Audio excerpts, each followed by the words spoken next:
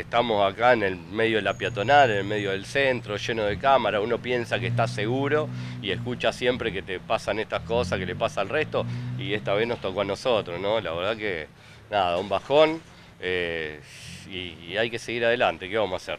¿Qué es lo que pasó? ¿A qué hora fue? ¿Ingresaron dos personas aquí al local? Sí, eh, fue una pareja que simula una compra, once y media de la mañana, plena luz del día, eh, lleno de gente, el, centro y demás, y entra una pareja, simula una compra y en el momento, digamos, de pagar, le dicen que es un asalto, le sacan una pistola a mi mamá, se la ponen en el pecho, la maniatan, le dicen que, bueno, que se quede tranquila que no va a pasar nada, gracias a Dios no le hicieron nada y se llevaron lo que pudieron y se escaparon. ¿Qué es lo que se llevaron, digamos, dinero? Y se llevaron, no, más que nada mercadería, mercadería, porque no manejamos mucho efectivo, entonces eh, se llevaron un poco de mercadería, lo que había en los mostradores y se fueron.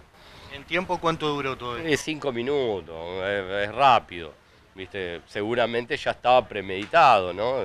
Ya tienen, tienen todo armado esta gente. ¿Ingresaron caminando? Sí, ingresaron caminando ingresaron caminando y creo que había un auto en la esquina que los estaba esperando. Bueno, estamos hablando de la peatonal, bien lo decías, hay cámara de seguridad, seguramente se va a trabajar en eso. Sí, sí, ahí están los chicos de la policía trabajando, la verdad que, bueno, ellos son optimistas, uno no es optimista porque escucha todos los días que pasan un montón de cosas y la cosa sigue igual, entonces no tenemos ese optimismo. Pero bueno, ojalá que, por lo menos que se pueda dar con los delincuentes, así no le, pueda, no le pasa a otra gente, ¿no? No le pasa lo mismo dueño de este local, la familia que, siempre ha trabajado en este rubro, difícil seguir, ¿no?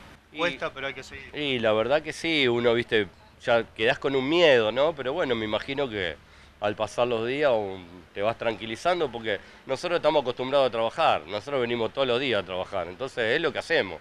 Eh, hay que seguir, no queda otra. Mamá, ¿cómo se encuentra después de lo que fue el episodio, vivir todo esto? Mirá, está asustada, pero está bien. Gracias a Dios no le hicieron nada. O sea, eh, así que bueno, no le pegaron nada, así que bueno, está asustada, pero, pero está bien. Y bueno, está bueno que estas cosas se sepan para que todo el mundo se entere y que, bueno, de repente no vuelva a pasar, ¿no?